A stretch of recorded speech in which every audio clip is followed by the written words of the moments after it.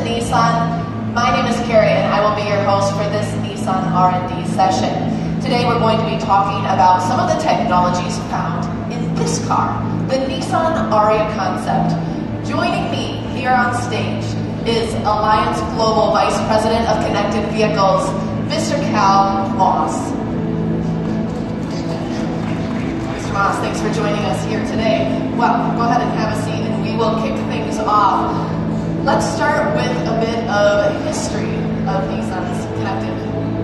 Yeah, uh, in Nissan we have a very long history of connected. We started than 20 years ago.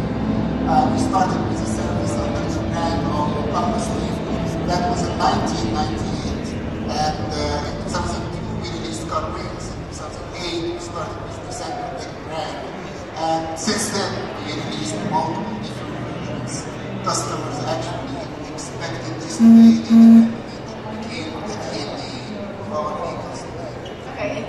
Tell us about some of the latest services offered by Nissan Connect? There are lots of them. Uh, I'll tell you about my favorites. Uh, the one that I really like is how actually in destination today uh, in the vehicle. As you sit in the vehicle, one of the issues that we uh, face driving is how we can select uh, the places that we're going to. And today we're offering uh, Google Search uh, inside the car so you can actually use the keyboard and type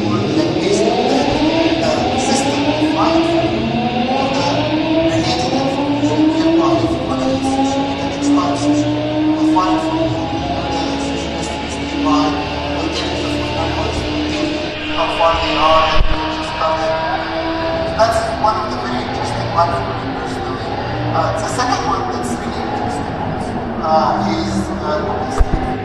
Uh, that's a feature we're offering in the car. And the, the, the, the real advantage of this is that as you are driving in a place that you're not familiar with, you don't know what the destination looks like. So as you input the destination, the system the system will offer a picture, a photo of the destination. And as you are driving, you can look at it and decide, okay, this is a building that I need to go to. That's where I need to park. So that's important. That makes also the driving experience bit easier for our customers.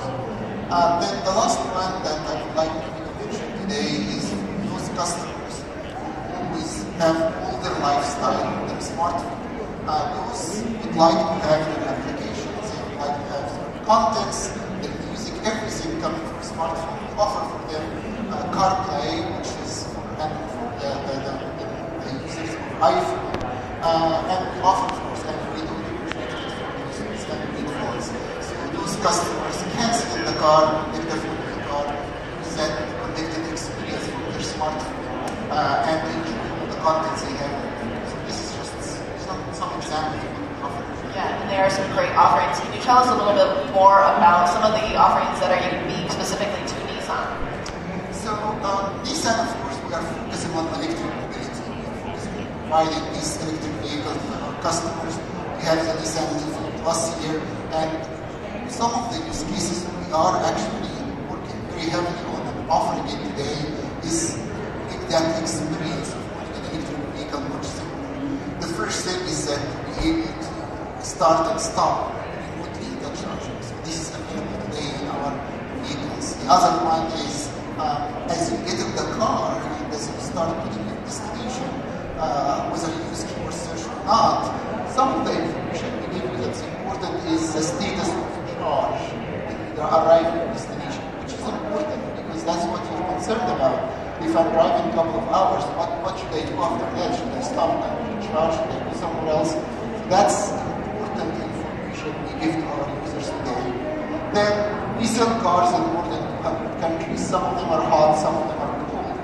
Users want today, and we enable them today to actually remotely connect with the car, uh, start um, the air conditioner or start the heater, depending what they like to do. So by the time they get into the car, the car is prepared for them, is conditioned for them, so they can actually enjoy the experience and don't have to wait for it to uh, be prepared for them. So the, the, the last thing we offer also, uh, and I would like to highlight today, is about connection to the home uh, devices. Uh, many of our customers, they have already some device at their home that they like to connect. They have uh, the device Echo uh, from, from Amazon. They have Home, and they have Apple Watch, and how to connect between all of these devices and the car and enable communication back and forth. Uh, this is the feature that's available today in our device. Yes, how about services that are specifically uh, available to help out both EV and non-EV drivers?